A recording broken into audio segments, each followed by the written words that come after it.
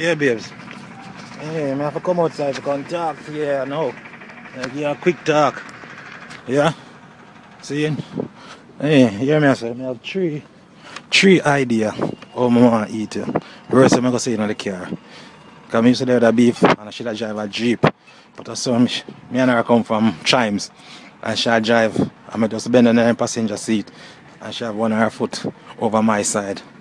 But she just take her time drive and me I eat her. Mad. You understand me? And she just a stoplight and boy I call to her and them never know what I eat me I eat her. So. Uh. See? The next one, if I office you work now, you there now. You know, and I need, you there at the desk. You're there at the desk. I mean I need the table, nobody don't know. Nobody at all don't know I mean I need the table. I'm just there, I eat you, eat you. You understand me? When you come now, you make pay nice and everybody around come look.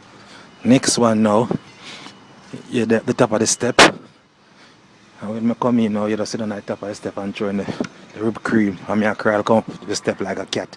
And me dep on meow. And you dep on, oh kitty kitty, come kitty kitty. Shh, shh. And me on meow. And I crawl come up the step my, on my toe and my knee. And when me reach near, you know, me I lick your pussy.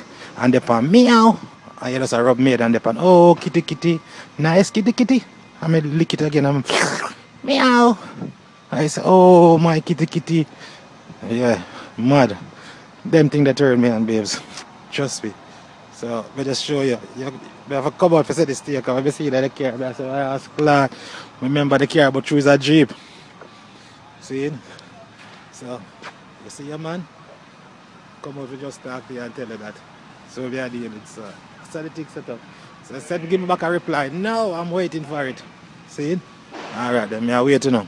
Okay? So, just give me back a reply now. Come, just go wait, yeah?